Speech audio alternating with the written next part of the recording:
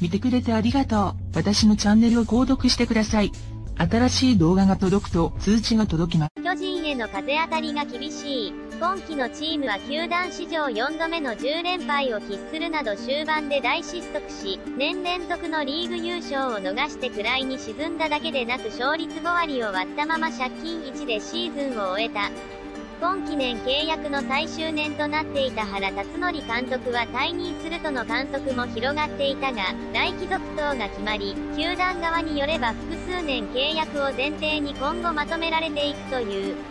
編成権も握る全権監督だけに逆風も激しくだが、V と責任を取ることなく、居座る格好となる原監督を糾弾する厳しい批判がネットや SNS、あるいは一部メディアから浴びせられ、現在も鳴り止んでいない。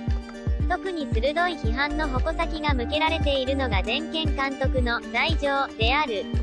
作オフに横浜 DNA ベイスターズから FA 権を行使した梶谷隆之外野手と伊能翔一投手の獲得にゴーサインを出したし、シーズン中の8月にはチームメイトへの暴力行為で謹慎処分を食らって居場所を失った中田翔内野手も所属先の北海道日本ハムファイターズから無償トレードを打診されるとすんなり移籍を受け入れた。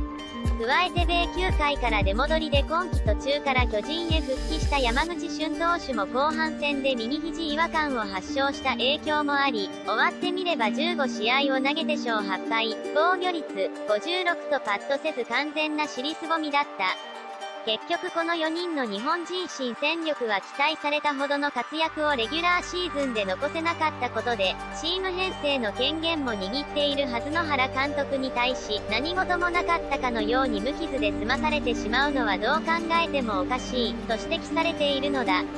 今季の先発ローテーションに関して言えば、週4日、あるいは中5日の登板を課すケースが多くなり、投手陣はブルペンも含め結果的にシーズン終盤で明らかにパンク気味になってしまった。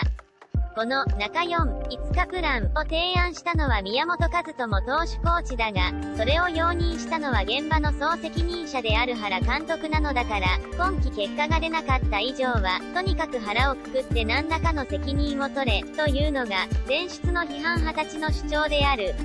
なるほど、至極まっとうな意見だろう。